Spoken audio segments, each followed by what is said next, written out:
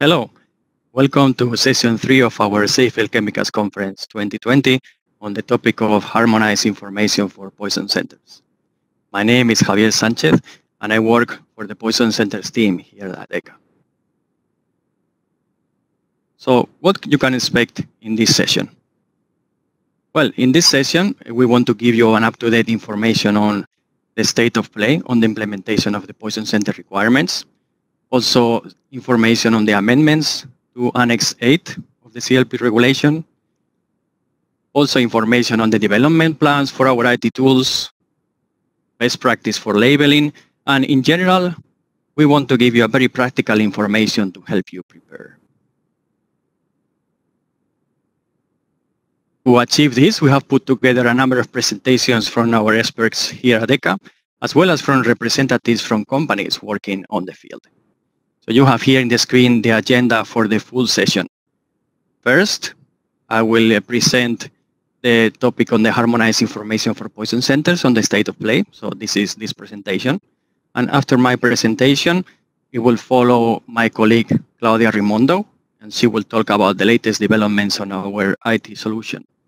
We will then have a presentation by my colleague Kirsi Myöhänen on the UFI code and labeling.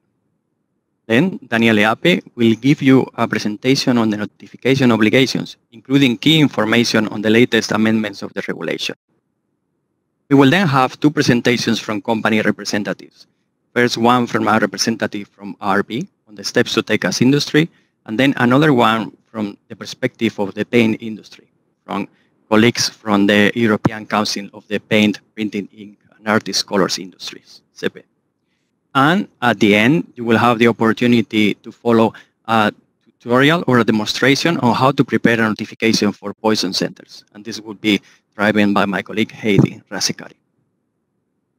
But let me move now to the content of my presentation on the state of play. And starting first with a bit on context of the context on the need to have information for emergency health response. Indeed, on a daily basis, consumers and workers come into contact with chemicals, including hazardous ones.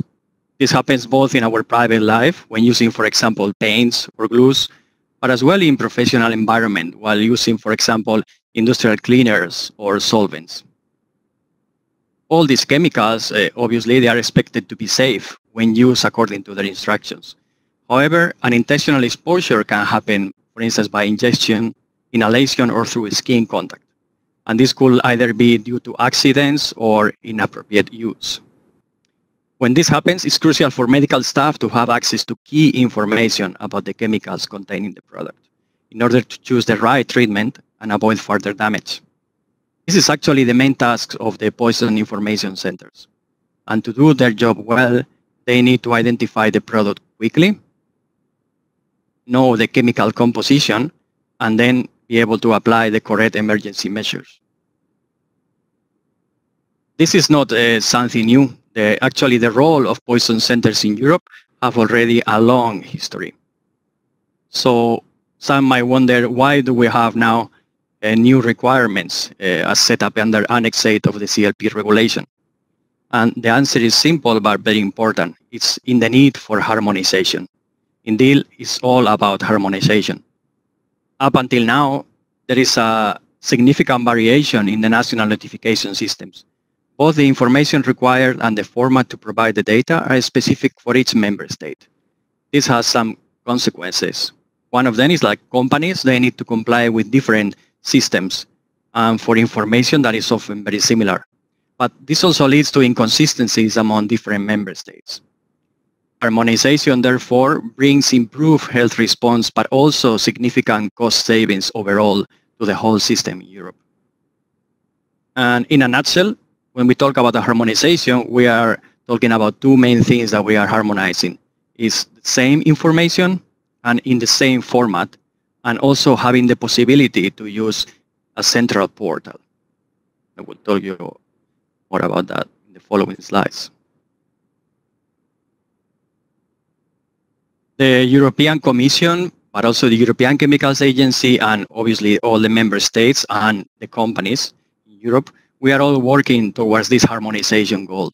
And we already have the main blocks in place to make it happen. You have here in the slide the list of things that are already in place for this harmonization. So we have an XML format. We also have defined a European product categorization system. There is a generator that generates the UFI codes needed for the labels. There is scientific guidance in place as well as technical support. And we have also developed the tools for companies to facilitate submission. And we, are, we, have also developed a poison center notification database for authorities that can be used by appointed bodies or poison centers in the member states.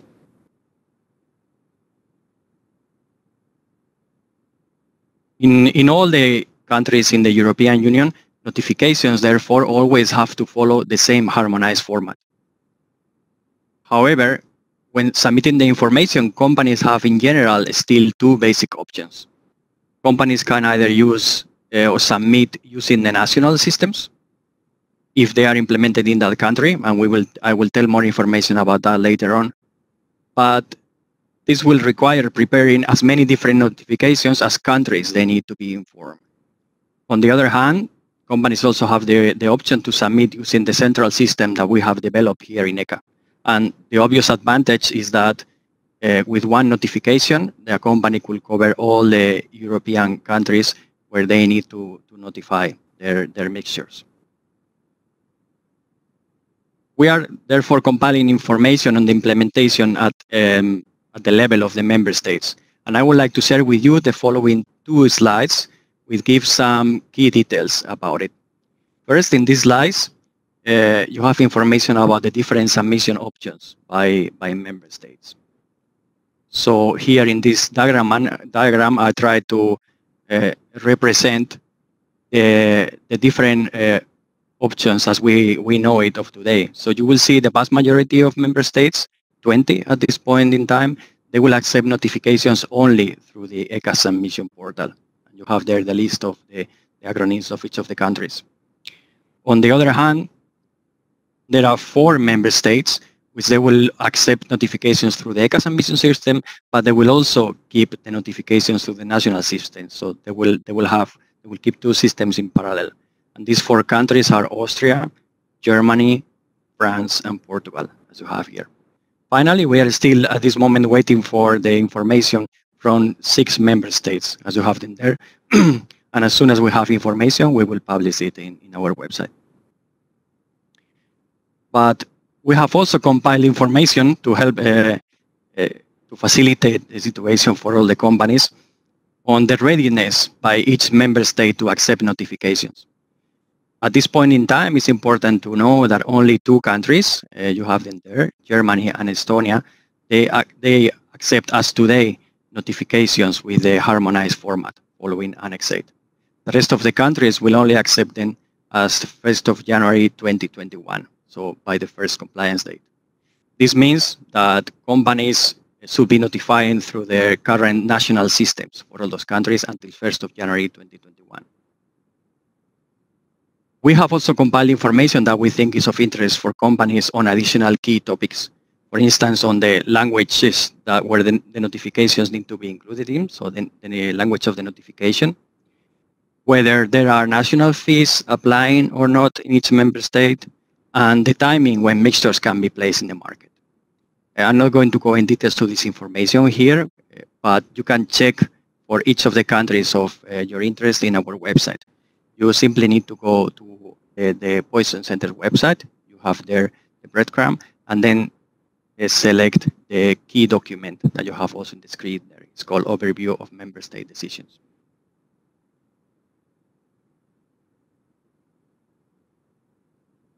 I mentioned before that the main blocks for the harmonization are in place, but it's also true that very relevant changes are coming up in the following weeks.